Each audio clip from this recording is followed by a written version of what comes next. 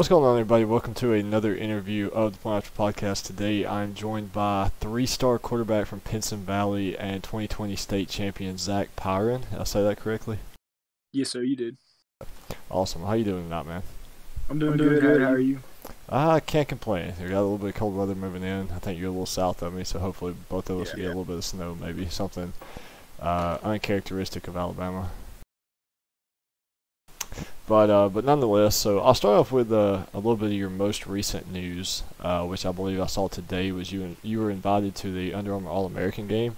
Uh, could you tell us a little bit about that? You know, maybe how that came to be. Was it something that you woke up this morning and saw, or was that something that had uh, maybe had been talked about prior to the day?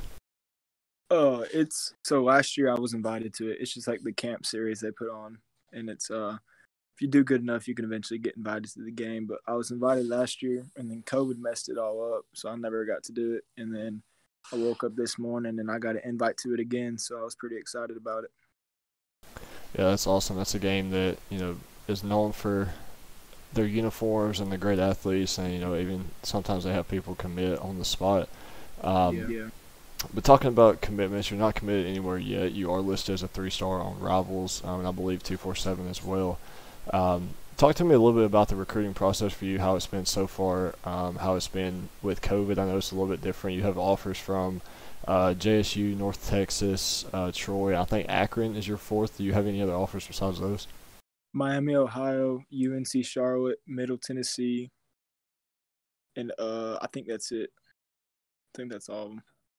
So seven or eight offers, uh, but yeah, talk to me a little bit about maybe you know what it's like as a recruit. You know, the mail you get on a daily basis, the phone calls, the texts, the you know things like that. Tell me a little bit through a day in the life of a Division One recruit. Uh, it's going good. You know, COVID uh, is affecting it a little bit. I mean, not not where it's like affecting me a lot. You know, I mean, it would help if I could get on campus and get in front of coaches and do all that stuff. I probably, I probably have a little bit more than what I have now. You know, but I can't complain. You know, God's blessed me what I have right now, and um, it's cool getting to talk to these coaches and just build relationships with all these guys. And uh, it's it's a fun process. You know, but I'm really just trying to find the perfect fit uh, somewhere that I can just be myself and somewhere with a good culture. Um, just what fits my needs. Yeah, so you mentioned camps. Have you been able to get to any camps in the past that maybe uh, led the way for you getting an offer from that school, or do you have any camps that you could potentially attend this spring if COVID allows it, or maybe this summer? Uh, so going into my tenth grade year, I went to Tennessee, Jacksonville State, and Troy, and then Troy and JSU offered me.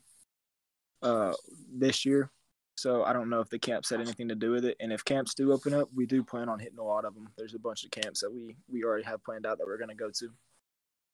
Yeah, camp's not only about the competition, but it's a good chance to. It's a good recruiting tactic for the schools as well. It's a good way to get Mhm.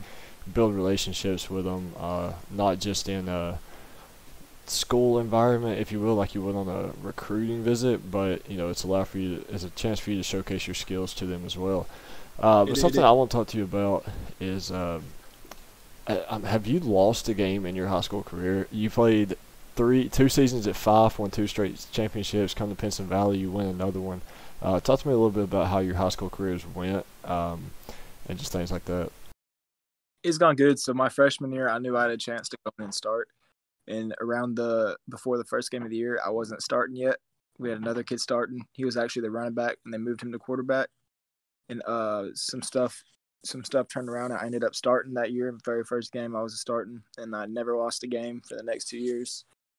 And uh, then I moved up to Pinson, and I lost the first game of the of the year actually to uh, 7A Hewitt Trust, Trussville. They're a powerhouse, and I eventually lost one more, but we went on to win the state championship. So I have a 42 and 2 record, but it's I can't complain. It's been good to me and I have three three rings, you know. So Yeah, in Pinson Valley, I believe they're five A, right? With Hewitt being seven. Okay, six A. Yeah, I think I got an interview with a guy from Pike Road after this. I think they may be five A. Um, but nonetheless, yeah, like you said, you won six A state championship this year. Um, so talk to me a little bit, you know, a little bit about that state championship run that you had through the playoffs. I think y'all won eight, eight or ten straight, something like that, to finish out the year. Um, how are you guys able to bounce back from that midseason loss that you just mentioned? Um, and then what, you know, how's it looking headed into next season? um so coming in after that midseason loss, you know, it was a brand new coaching staff for everybody, and then me coming up, it was kind of a, it was more of an eye opener for us to see that that we just all have to buy in. We just all have to start working harder and doing doing better everywhere. And when everybody started getting the same mindset and clicking on the same page, we started going on a big run. And uh, it led us it led us on to the state championship. You know, everybody had the same goal in mind. Everybody was working hard at practice, pushing each other, and uh, that's what that's what we finally finally started to get clicking. That important thing for us. Yeah, the uh, the the loss you mentioned was 14-13 to Ramsey. Um, and Ramsey's not no you know they're no pushover team or anything like that. I believe they are top five in the state, uh, or were at that point of the game. Um, how how was that game kind of affect you guys as a whole? Like, do you think that you guys just played bad that game, or was that just two great you know powerhouses kind of going at it? Uh, I think it was two great powerhouses. I also don't feel like we played great, you know, but um, you it's kind of hard. You know, Ramsey has a nose guard committed to Alabama and a linebacker committed to Florida.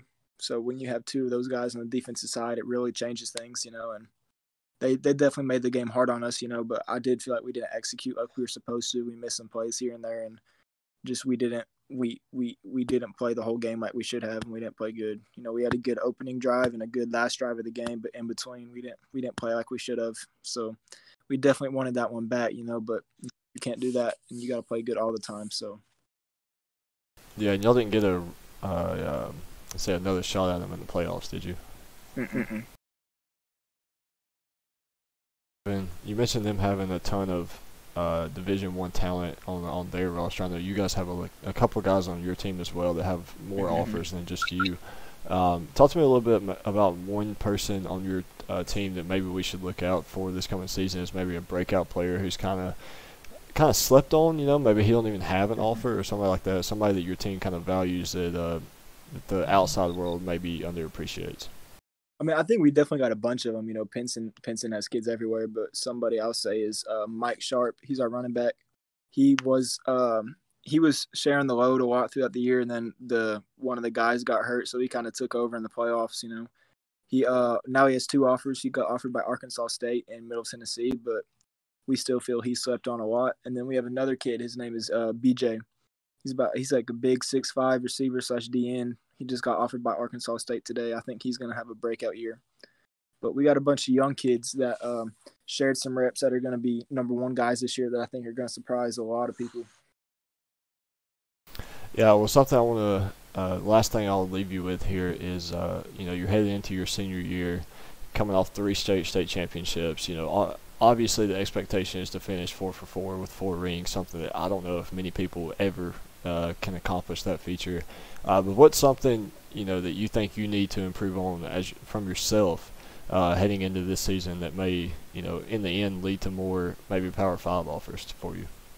I think just my IQ. I think I have a good football IQ, but you can always improve it. I would like to get better at uh, pre-snap and post-snap uh, adjustments and things. You know, being able to see things pre-snap and then during the play, be able to make more right reads. You know, and then just just being more of an athlete because I was I'm a, I'm a good athlete, but I didn't use that enough this year. I didn't feel like. So just me trying to help the team more in ways, and then also just being a better leader. I've always been a good leader, but you can always be better. And with me being a senior, that's going to be really important this year. Is being a leader and making sure I lead by example. Yeah, you mentioned football IQ and how important of a thing that is. Uh, not only just from from a high school level to a college level, you know, the biggest thing that people talk about is the game speed and how the game speed changes um, from you know high school to the next level, and being able to have the game slow down for you is the biggest thing. Uh, and to, to me, in my opinion, I think football IQ is probably the most underappreciated uh, feature of a player being recruited or just a player in general because um, I think football IQ goes goes a long way. So, like you said, you know, I hope that maybe you're able to strengthen your IQ in the next six mm-hmm. months before the season gets here. Um, but nonetheless, I, I, wish you nothing but the best in your uh, four for four, four straight state championship run. Uh, I'll probably get down to Pinson Valley at some point and uh, check out the game. It's only about an hour south from me, um, so you know, again, nothing nothing but the best for you. Good luck, and uh, appreciate you joining me. Yes, sir. Yes, sir. Thank, Thank, you so, much. much. I'm glad, glad you had me on. on.